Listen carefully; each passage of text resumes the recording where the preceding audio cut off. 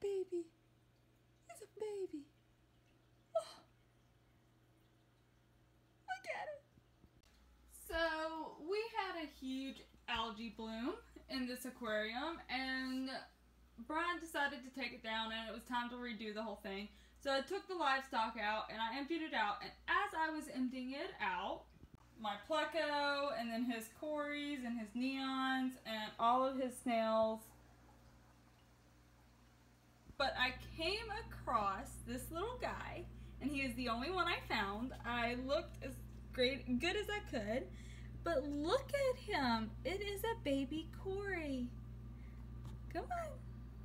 Due to my fear of him being eaten, he will be going straight into my nursery tank where he will grow up with a swordtail baby that I have.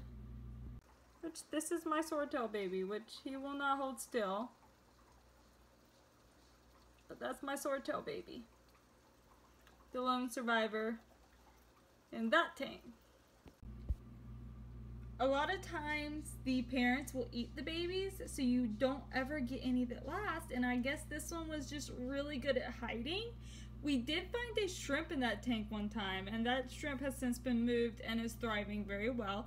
It was an orange one and we just guess it hitchhiked on a moss ball and somehow survived.